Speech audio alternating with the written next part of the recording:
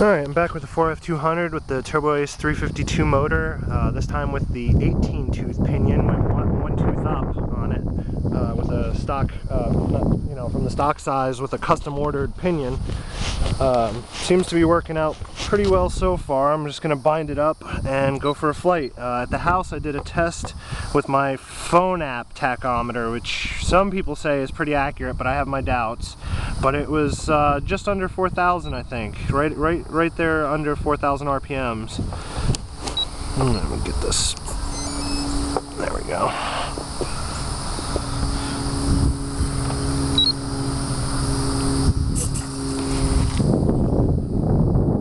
Alright here we go. This is the first actual flight. Me adjust that cam just a little bit here.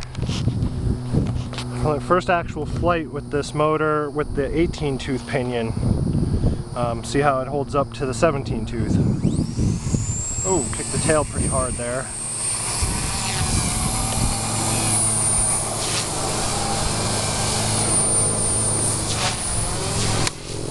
That's full stick punch out. Um, Feels pretty good actually. I can't complain. Uh, pretty close to the stock motor.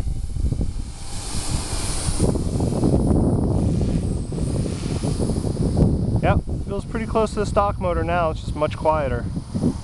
I think maybe 19 tooth wouldn't be so bad either. Might just give it a little bit more. And the motor seems to be able to handle it pretty well. And the stock motor is probably still a little bit punchier.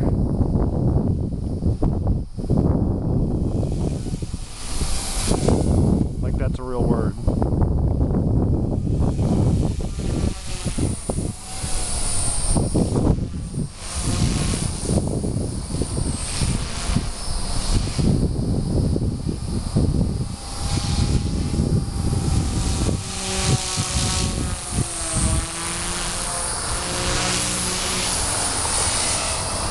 Yeah, I like it. I think I'm going to leave it in.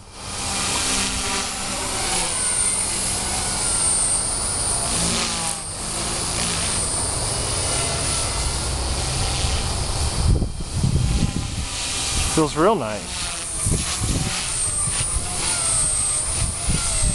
And it strains a little bit.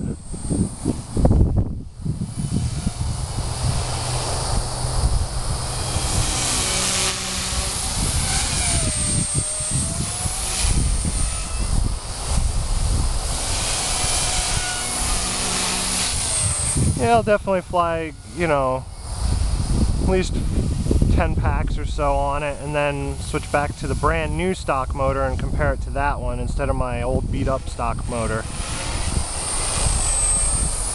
But I, you know, overall it's pretty good.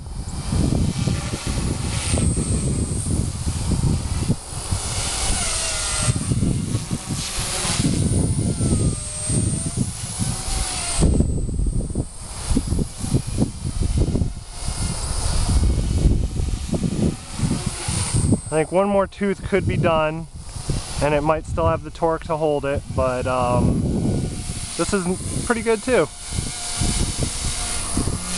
I might order a 19 tooth and see how that goes, just to do it.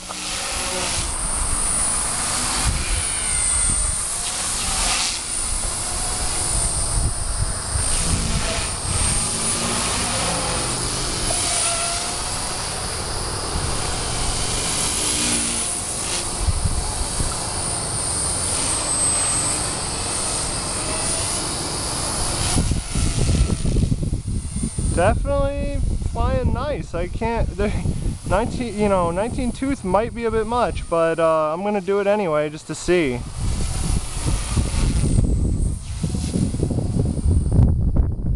You know, I think I get a longer flight time with this motor. I'm not sure.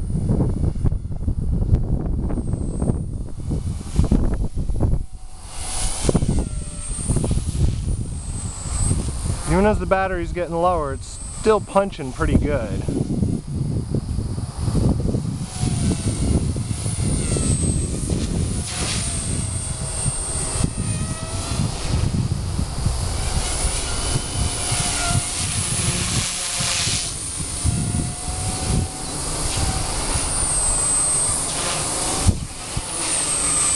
And the tail's kicking a little bit now. Power. We got three point. Uh, battery's about dead. Uh, total is 7.3 volts on the pack right now, so it's definitely time to land. See where the uh, alarm goes off.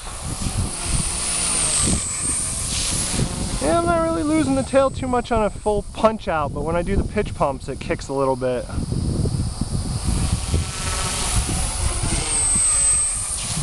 And drifts a little bit there as it strains. It's pretty good though. Can't can't do much better. Um, you know, with just the stock setup, you know, uh, at, well, it's not true either. I've got, you know, stock servos, but it's a Hobbywing speed controller, so who knows, that might have some some bearing on the motor's abilities too.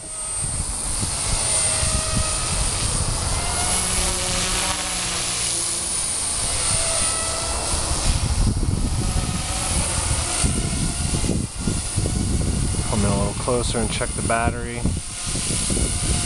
7.3 still. I got.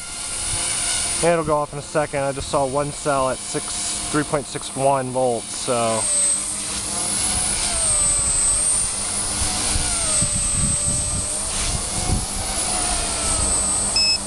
There we go.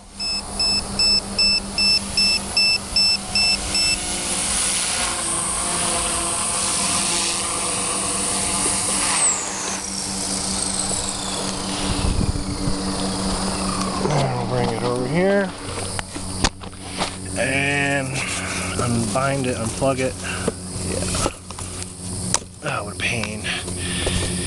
And the power's at uh, jumps up to 3.7 something uh, per cell. I ran it a little low, but I like to go about 3.8 and uh, it's a little low, but it, uh, you can just see how low it, the battery actually did get, and uh, it still had some good power. So, Turbo Ace 352 with an 18 or 19 tooth pinion. Um, I'll say eight, definitely the 18 tooth is definitely viable. So we'll go with that for now.